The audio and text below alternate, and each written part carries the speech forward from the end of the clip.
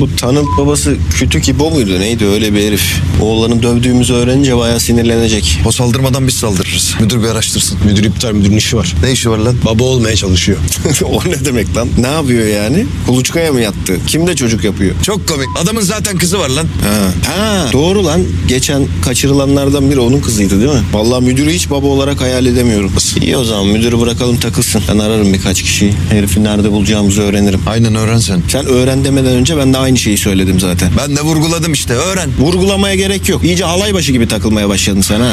Rüzgar bu herifi vurmak için silahı nereden buldu acaba? Bana ne bakıyorsun lan?